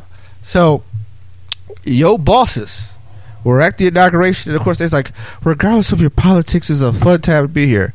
Fuck that. Like, this is going to be a polarizing experience because I'm going to see how this affects people. Because people are going to Right. be putting their politics out. People ain't shutting up, all right? So people want to put their politics out there, and they are very upfront about their politics. And I think, depending on where you are and what you do, it may be seen as support or lack thereof, and that may be taken with certain actions. So this is going to be kind of interesting. Uh, like he's not making any definite. It's kind of funny. Like he attends the march, but he's not really making any kind of statements. Also, to say the women's march on Washington or the women's marches across the country are against the Trump presidency, I think is a little narrow. I think they are against some of the things that Trump represents, but I don't think the sole purpose is to. And I mean, Keisha, you might be able to speak to this a whole lot better than me. And I'm not gonna say, Mike, you definitely can speak to this a whole lot better than me. But I don't think that that's. I think that's just kind of narrowed it down. Um, I can agree with that. I can. Um, I don't. I don't, I don't know. I mean, I'm at a loss for words right now, so you have to excuse me for a second. Like, I'm just, I, uh, I can, but oh man, I don't know, Keith. I don't know. Like, I'm, I'm, I seriously am just at a loss for words right now. So you really have to like give me a second. But I don't. I really just. I don't know. Like I, I really. I have to honestly say that I can. I can't agree with that. Uh, Yeah. So I, I, I mean, give me like I'm laughing, but I'm so. sometimes I'm really awkward, and my nervousness is like through the roof, and I have a slight fear. But right now, I'm just, I'm trying to get my life together. So I at mean, this moment, so please just okay. So okay, yeah, but I I do uh I don't know. I have to uh get back to you on that one. I got I got to get back to you on that one. okay. Like But no, I I think I mean, like I said, I think it's going to be interesting with Ziggler in that mix because I don't know how they're going to take that. Uh, Hideo well, I just oh, go ahead. I don't I don't know. Ziggler is an interesting character. Um and the reason why I say that is because he's he's an interesting person. Like you don't really know how to take Ziggler on a regular day because it's like you want to you're a fan of Ziggler and the things he does and then you're not. So it's like I don't know really how to even. A loss for words is something that is uh, actually accurate in this situation because it's just kind of, uh, it's kind of like I don't really know how to deal with him right now. So, but it's not. I'm not necessarily saying it's a bad thing. It's just kind of like, okay, dude, like we need to we need to assess some things. like we really need to talk about some things with you. So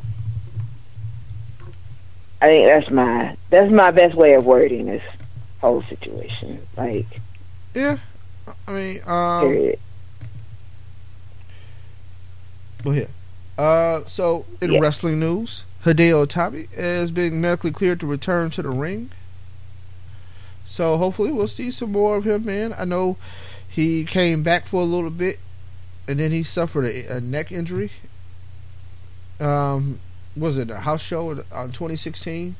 So, hey man, good to see him back. Hopefully that leads to him coming out of NXT, and I think he would be incredible on 205 Live. Right. Um, as you told me earlier, uh, the TNA name is going to be phased out.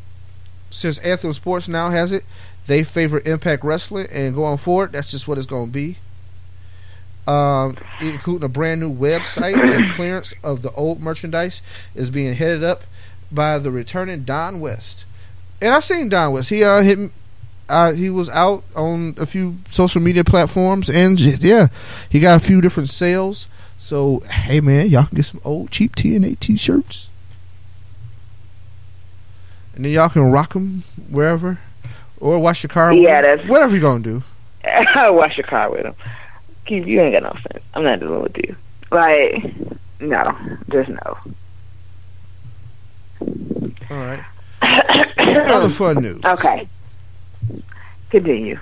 Steve Austin gives Donald Trump credit for taking a stunner at WrestleMania 23. As you know, at the end of the match, and they was having beers in the ring, uh, Trump took a stunner.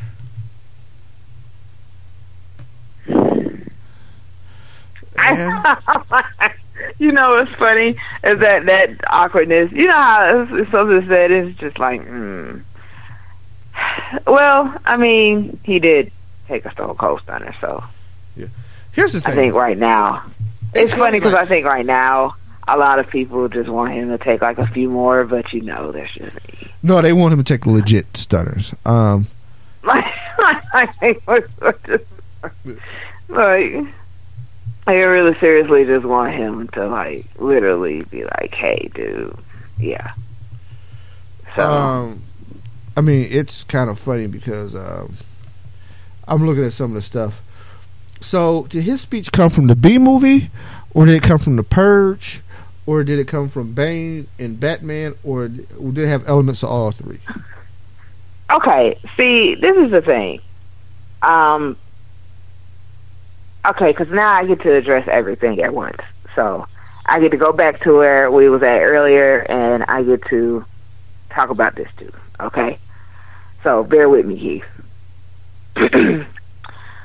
uh, that speech was a combination of all three, and I didn't actually get to see it because I have to honestly say I just didn't want to watch it. But from my understanding, there was excerpts taken from random places and was put together to create this speech. Now, I don't know how true this is or not because, like I said, I didn't watch the speech. But from my understanding, from others that have watched it, this is accurate. So it was kind of like it was kind of like, hey, I watched this random stuff. This sounds awesome. I think this. I should say this. Let's put it all together. Like it's just weird. You know what I'm saying? It's one thing when you copy things. It's another when you do this for your speech to be president. You know what I'm saying? Uh, this is your, I mean, your speech to uh, during your inauguration. I I know the words that I just used was pretty inaccurate for the time right now, but I swear to you, Keith, he still talks as if he's campaigning. So it's really hard to assess the situation at this point. Um, all I know is it was, and to me, regardless of what was taken and said and whatever, it was all ridiculous anyway. So the fact that this is even a possibility of actually happening is just atrocious. Like you really seriously took excerpts from like movies and stuff to make your presidential your first presidential speech. Like, are you serious? Um, it's laughable, but it's not. Like, you want to laugh and cry at the same time. Hence why there was a women's march to begin with.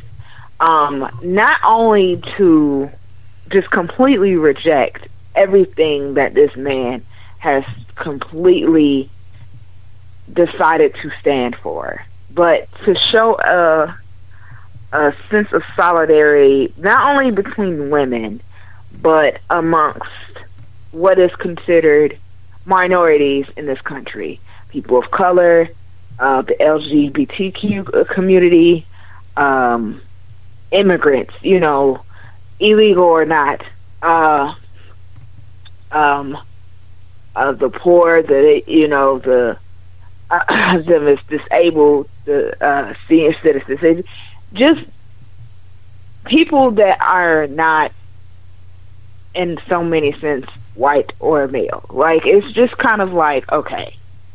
Um, in all honesty, it's just a, a lot to take in. But the fact that today was so important because it showed that it was a whole it was a unification it was a unification of hey we ain't standing for this shit you know what i'm saying and it was important for women to do it because this man has been seen as completely misogynist and just com- severely sexist like Mm. the things that he have said have been utterly ridiculous in all sense of the word. Like when you see your own daughter as a sex symbol, it's disgusting to the point where it'll make you nauseous. Nauseous. It's this. This. It's just disturbing, mm-hmm. and and like he said this in all seriousness, and like to me, there's a difference between entertainment and a difference between. It's a thin line between entertainment and like real life. You know, like to me, there there is that that line, and I and it's crazy because I was told like the other day, like, oh well, the media twist things and they it's, no, no, no. That's not all that happened. Like I understand that some things are like really, eh, honestly, yeah. Like they, there's things that I can perceive as being twisted and all that kind of stuff. And this is a man that has been in the entertainment business for a long time. Like he's a quote, he's a businessman, you know, in his own sense of the word. But he is also been all over TV and all that. I mean, Keith, you have mentioned so many times before. This he was he was a part of WrestleMania at one point. He's a hall, a WWE Hall of Famer. Like, so some things might seem like they're this kind of like, oh well, he just said that for attention. No, like this man really believes this shit. Like I seriously, I, it, it, it gets to a point where it's like, no, he's for real. And when it came to that, it was like, no, he's for real. And that's what pissed women off so much. Women don't want to be seen as objects. Period. The end. So like, um, when you say things as a presidential candidate like he did, and when you're the president elect and have not apologized or even like retracted a statement that you said or even like addressed it or nothing, and then you have a vice president who's 10 times worse than you are, then it just makes this all a dangerous situation for not just women, but for a lot of people that were completely offended, disenfranchised, and uh, misrepresented in this entire situation. Like, this has become way more than just, oh, women just, you know, want attention. No. Like, that is not even the case. Um, when I seen a video today of, like, the march happening all over the nation. And it wasn't like, oh, it was a few hundred here, a few hundred there. It was thousands. The fact that you told me that Dolph was involved is is not surprising actually because there were a lot of men um, on my Facebook, on my own personal Facebook that I'm friends with that were like, I stand for I stand with this. Not just because just not just for women, just because in general, like it represented more than just that. You know what I'm saying?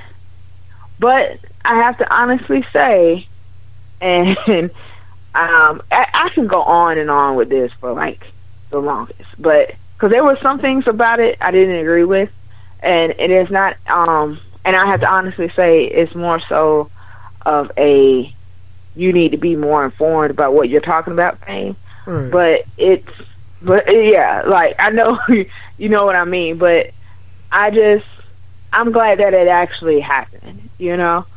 Um, but God just help us all. Like I really, I really am.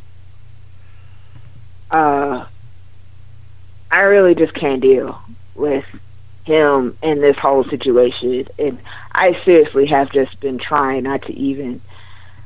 I know at some point I'm going to have to talk about it, but it's just kind of like I don't want to. Like I'm not even going to lie to you. I just don't even want to. But yeah, his the fact that this was even a discussion is just sad. Like, dude, you mean to tell me you couldn't hire you a writer that could cuz cuz I know you know people with his kind of money and I, I'm not even going to sit here and say like, you know, if people with their kind of money can hire someone to write something so good for you it sound like you wrote it yourself. It's possible. I know it's possible. I'm pretty sure it's possible. Why didn't you do it? like, like why? So you, so somebody decided to slap some ex- excerpts for movies together. It to me seems like, oh, I don't really just don't take this seriously, you know. But I'm just gonna act like I am and say some really like crazily wonderful things that came from movies that no one will recognize. Come on, dude. Stop it. There's people out there that have seen these movies a million times. A million. I know. Because that whole Bane speech, trust. like, stop it. So, I know I done got all the way off the rail, but Yeah, yeah, yeah. I mean, you're pretty much on that third rail electrocuted. But it's yeah, I'm telling you. Enjoy it. This is what this platform is for. You are welcome to speak your mind on your own show as you may feel. That's, and but to see, this is why I said earlier, like, I needed to, I needed a moment to get it together, because that was a lot. Like to even the thought about that, because it was, it was just way more than just you know, Dolph. Like that's because I have a lot to say about him anyway this week. So it's just kind of like, okay, dude, like, yeah, like I, I'm just, I got to get myself like I always have to get myself way in line because it's, I get that was that was actually left field, Keith. I'm not even gonna lie. Like that was really left field for me because I'm like, bruh, like, and I'm not saying it was a bad thing. It wasn't. It's just like now I don't know if I should say what I was gonna say earlier. I mean later on. Like I don't know. So let's let's just continue. let's continue. Okay. Um, not a problem. Um, going forward here, let's talk about SmackDown. Um, yes, please. Shane McMahon announced that uh, after Royal Rumble, there's going to be a midpoint between Rumble and WrestleMania, and they're going to have Elimination Chamber. This is awesome. So the SmackDown brand will be dropping Elimination Chamber. Um, I think that's going to be good.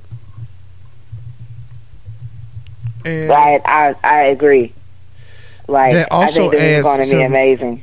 idea of, hey man, we don't know who the champ might be going into Mania. So that's the thing. Um, AJ Styles and The Miz had a good exchange in promos. Uh, Cena was instigating, really wasn't needed, but he was there. Right. Oh, Keith. Oh my God. Cena instigating was the most hilarious thing ever. Like I don't know if you. I I was dying. I'm sorry.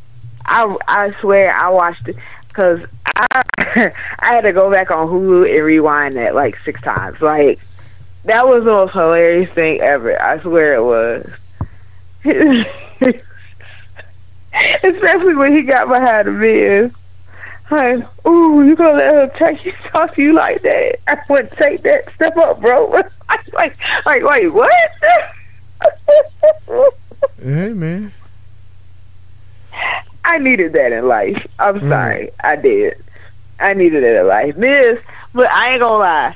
I'm not. I got okay. I I do need to speak. Miz's promos are golden. Like oh, that I mean, man is he might be the best. on that mic. Yeah, he might be the best heel on SmackDown, right? And I'm Right. saying that with AJ Styles, I think is the best overall wrestler on SmackDown, and I think he's a great person to have there. But I think Miz, I mean, is just so naturally unlikable. Right. Exactly. Like he makes it work, You always like talking. because people like. AJ. People Yeah, like AJ. this. Yeah, like you even mentioned Miz's name, everybody's like boo. like they can't stand him. Oh my god, they hate him. But it's to me that to me is you're a successful heel if everybody can't stand you. Like if you've gotten to the point where everybody looks at you with like total disdain, then you've reached that point. Like you're good. And I'm telling you, like I'm not gonna lie, Miz and or Maryse come out and I'll be like, yuck. But when he talks, it's like, damn, you know, you you get taken aback by the whole entire situation because of the simple fact that, I mean, his words are just impeccable. Like it's like, bruh, where you get this stuff from? But it's his, it, they're just, it's just greatness. Like it is, it is just greatness. Um, telling AJ Styles he was beating up John Cena before beating up John Cena was cool was like the best line he said that entire night. Like I was, I was Yeah. done after that. Like it, but it was, but that to me was what makes it was, it's one of the things that makes him so good at this. Yeah. So I personally I love it. Um the match that was made by Shane between the Miz and AJ was golden. Um that was one of the best matches I've seen all week. Like I I actually thought it was pretty good until the ending, you know. But yeah. to me it was going wonderfully. I sometimes I think the WWF overbooks themselves, and they could have just let it go. Right. Exactly. Like the ending was great. I mean, everything was good up until the ending. Like the ending, I was like, well, why didn't you just let the match end? You know, like it should have ended. Somebody should have been pinned or submitted or something. You know, like don't. Why? This wasn't necessary. Like what the hell? What were you doing? So I don't know. All I know is that was crap. Um, I can tell you another thing that's crap. Natalya and Nikki. That is just boring. I'm sorry. Like, Here's the thing: like I could dig the matches if they didn't talk to each other. yeah. But the fact that they add in all this extra is like, dude, you know, Natalya up there with uh Nikki and John Cena, like merchandise, throwing stuff everywhere. Like she looked like a five year old throwing a t- temper tantrum. Like Yeah, okay, okay, y'all, just stop it. Like it was, it was really annoying. Like that is the best word I can really seriously attach to it. It was seriously annoying. Like it was just, it's just gotten to a point where it's like, okay, no, like I don't know what it is about these women. Sometimes, like it's like I love them, I do. I think they're all incredible wrestlers. But when it comes to the storylines, I mm-hmm. don't know who- who's helping them get this together. Like it's like no, no, no, no, no, no. the whole segment when Natalya and Nikki ended the best way that it could possibly end, and that's with them two fighting. Right. Like I actually am a fan of there being a match with one of them in it against somebody else, and the other one attacks them from behind. Like I am so for it. I am because then it makes for better TV. Like I just, I really just, it, it's just ridiculous. And can we please, since I'm talking about it, can we please stop bringing up the fact that John Cena and Nikki are together? Everybody Yeah. knows this already. We all get it. yeah. I think it's an it over. already. Yeah, I, th- I definitely think it's an overused plot device, right? It And is. it's kind of like I think we've moved way beyond that. You know what I mean? Um, right. Just as a whole, um, I thought the Dean Ambrose Randy Orton match was good. Um, oh, it was greatness. And I like the dissension in the Wyatt family. Um, I hope it don't end with like Randy uh, being the man and Luke Harper kind of ended up on the outside. Like that would just be weird. Um, That is weird. I don't know what happens when Rowan comes back because that also matters in the grand scheme of things. Right.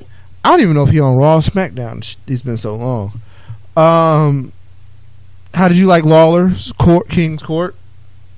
Okay, Um, and this is what I was going to talk about. this is why I said this changes. It kind of changes what I. But I'm gonna say what I was gonna say anyway. So King's Court was absolute greatness, but I hate those words because I sh- I feel like I actually feel guilty by even saying that. You know, because I shouldn't feel like anything that was said was okay, but like heel Dolph is all I've ever wanted in life. Like seriously. Um I think that Dolph Ziggler could make like himself like this could be his best run if he does this right. Um and he's off to an incredible start. the fact that you're in the hometown of Jerry the King Lawler and you tell him that you that he should blame you for his heart attack that he had on TV. And if you if he asks you one more question, you're gonna finish the job. Is one of the most disrespectful things you could say to a person. Like one of, I mean like it's it's just it's horrific. But I was like, dude, you know, Dolph, come on, man. Like, I really at that point was like, are you really like this cynical because you can't win? Like, oh my God. But that's the thing about Dolph Ziggler is you don't know when to love him or hate him because he's really awesome in the ring. But like when it comes to his personality, it comes and it goes. It comes and it goes. Well, I So, think eh, I think I just heel don't know. Is better. Heel is way better. It is. I think heel is. I'm not saying it's naturally him. Like I think he's just an asshole in life, but I think heel comes more naturally to him. Some people are just better as heels. Well, I think Him that- as a face is just weird. I think the company likes him better as a heel, and I think they put him in better positions as a heel, Right. for better or for worse. I think they put him in better spots as a heel. King Court, in my opinion, was a great segment of the show. Like in its entirety, just everything happening the way it did, it was greatness. Um, I I I actually was very excited about it. Um, even JBL tripping, trying to get from behind the announce table. Like I was like, JBL, just get your life together. Like seriously if you're gonna come running from behind the house announce table, you can't trip and fall. Like I'm gonna really need you to stop that. Hey man, But- live TV. Exactly. Like it was so funny because people were like, "So we're just gonna ignore the fact that he tripped." No, we're not. We're not ignoring the fact that he tripped. We saw that, but I knew it, that super kick was coming too. I was like, "He's gonna like kick. He's gonna kick the shit out of him." like, like, and that was, and that's exactly what happened. It was. It's funny because I knew it was coming. But at the same time, though, the words that were said, the things that he said, I wasn't ready for that, Keith. I really wasn't. Like, you know, there's moments in wrestling where you feel like people take things way too far. Like, Yeah, yeah, I think that all the time. yeah, that was one of them. But, But- yet, I was so for it. Like, I was like, yeah. You gotta remember, nothing's happening out there that Lawler probably is not comfortable with. You know what I mean? Right. And he's been in the business so long and did so many things that I think. I mean, but the thing, the beauty of those kind of promos are is that you forget that. Like, you forget that that is what you know. What I mean, is what happened. So right. you know, And I know that they're not doing anything they don't agree to. I mean, some things I'm pretty sure is not that's not the case, but with something like this, I know it's not. It wouldn't even probably happen unless it was signed off on. Like, yeah, Yeah. you know, I can do that. We can work with that. Right. I can handle that. You know, so and and that's why I was so comfortable with saying like, yeah, oh, shit. You know, like I my reactions was just genuine. I was I I'm not gonna lie, I rewinded that like four times. I was like, did he really say that though? Like it's, but I've been waiting for this moment. Like I don't know. I feel like when Dolph's a face, he has to try ten times harder. You know what I'm saying? Like he, you know, like he's really like giving it his everything because it shows. It really shows. But when he's Yeah. a heel, Well, I everything think also is just natural. I think they put him in better for spots, Right. and I think um, the idea of babyface Dolph is to lose. Like I think that's what WWE thinks. Like I think they like when when they start thinking heel Dolph, there's like, oh, we gotta get him up that card kind of quick.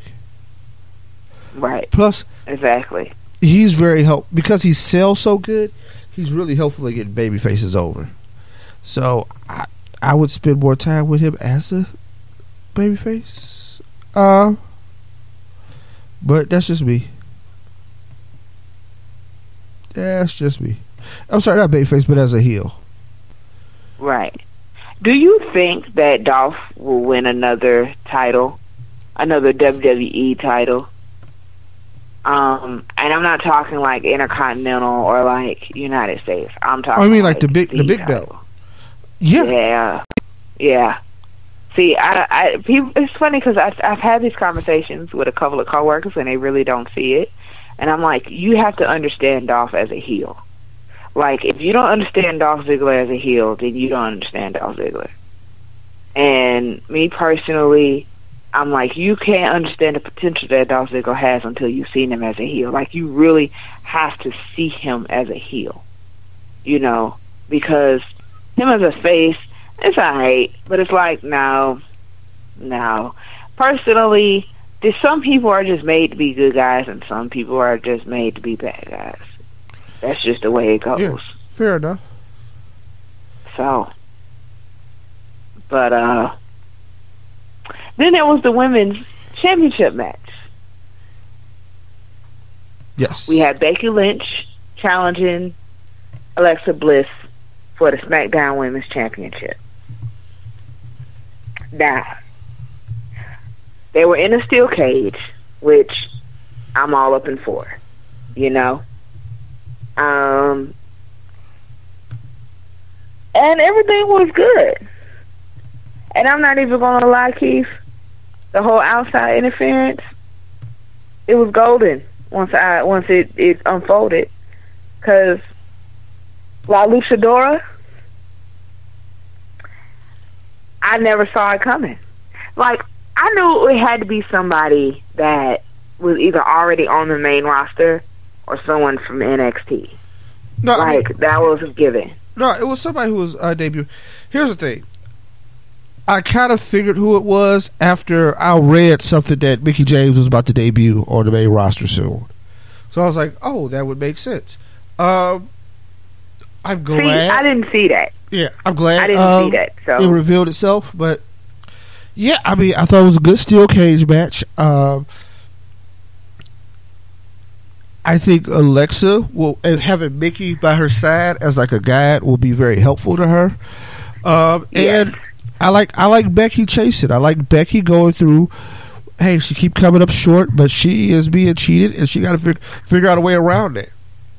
Now she Right. gonna get some help, or she go try to fight her way through. We don't know, but I, I, I I'm excited to see it. I seen something interesting, which was funny to me, and I actually was like, "Oh shit, that actually makes sense."